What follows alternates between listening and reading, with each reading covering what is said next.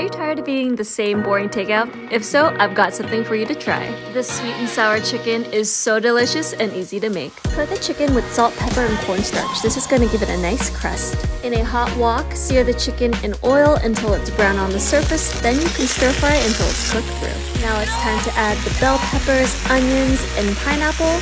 You just want to stir until they're crisp tender. To make the sweet and sour sauce, all you need is tomato paste, pineapple juice, soy sauce, honey, and vinegar. Let it simmer in the pan till it's hot and bubbly. Add the cornstarch slurry. The starches are going to thicken up, get shiny and glossy, and stick to the food. Garnish with sesame seeds and cilantro, then serve with a big bowl of steaming hot rice. See, that meal was really easy to make and so much better than ordering.